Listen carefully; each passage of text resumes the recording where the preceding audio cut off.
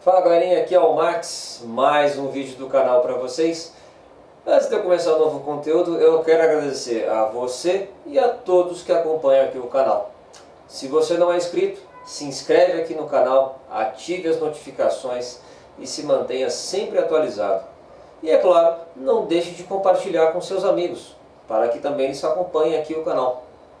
Hoje, antes de eu começar, é claro, o novo conteúdo, eu quero agradecer a ProShock pelo fornecimento deste excelente produto para apresentação para vocês. E hoje eu vou falar justamente da série Onix na versão amarela. Essa é uma versão de colecionador da fabricante ProShock, na qual ela produziu apenas 25 unidades nesta tonalidade em comemoração ao seu aniversário de 25 anos de, de empresa.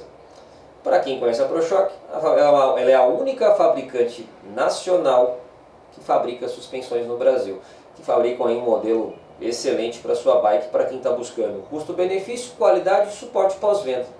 E eu vou falar um pouco da Onix para quem não conhece. A Onix é uma versão de XC Cross Country em aro 26, 27,5 29. No caso da amarela vai ser só 29.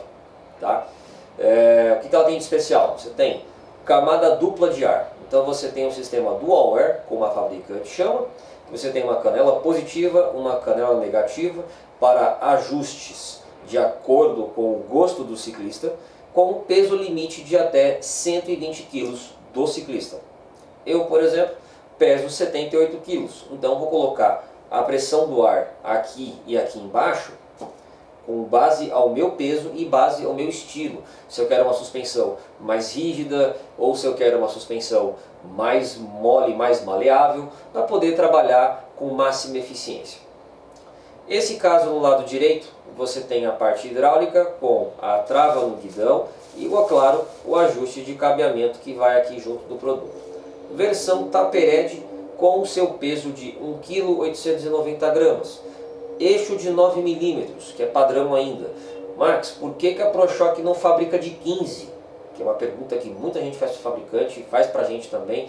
E a resposta que eu tenho deles, que eles também respondem nas redes sociais, é que existe todo um estudo em cima do eixo. Não é simplesmente instalar os dedos e fazer um eixo de 15.